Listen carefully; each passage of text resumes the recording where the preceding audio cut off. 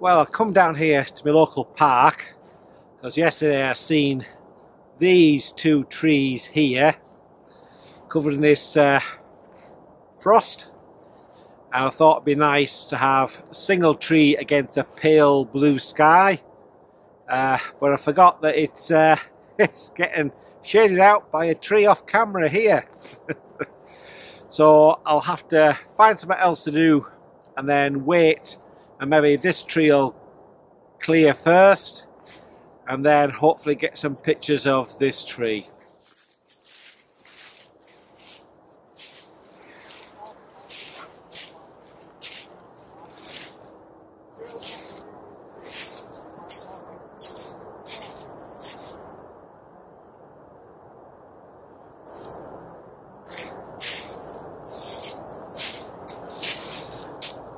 Think a wide angle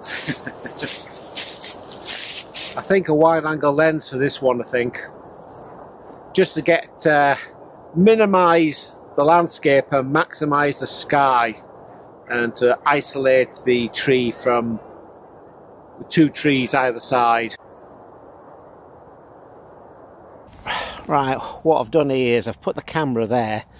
I'm shooting at 17 mil so I'm getting low down to get as much sky as I can just to simplify the image off. Uh, I've shot it in landscape, but I'll probably have to crop it down to uh, square, and uh, that's about it. Just uh, put me landscape settings on, so ISO 100, f11, and whatever the shutter speed is, and it does a bracket at uh, two stops over, two stops under. Then I'll alter it the compensation so it'll be uh, one stop over one stop under and uh, here's a picture see what you think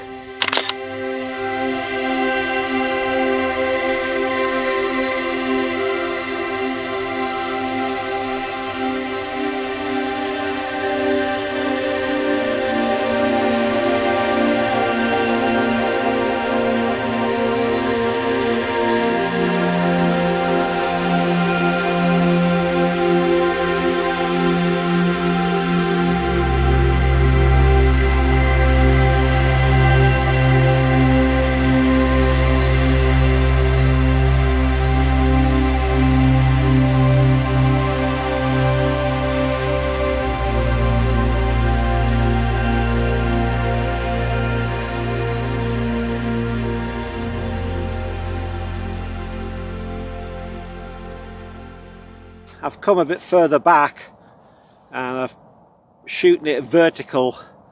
And I'm shooting this at about uh, about 30 millimeter because I've gone vertical. I've uh, what I call it I can get a bit further back and the cone can narrow so I can cut out the two side trees a bit more easier.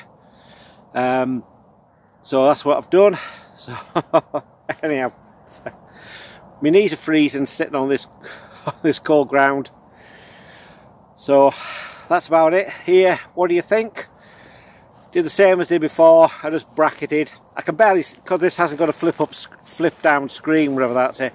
I can barely see where I'm shooting. You see, and uh, possibly the horizon not vertical because because uh, you're looking down like that on the side and even on the uh, the live view on the back I still can't quite uh, perceive what is horizontal and what isn't. The tree's no good because it's it's leaning an angle and it's got a kink in it. So I'm trying to go for the horizon but it's not it's just uh, I think that's even sloping I think because the trees are sloping down a hill. So as long as it looks okay it doesn't really matter as long as it looks believably straight uh, I'll leave it at that. So alright so what do you think of this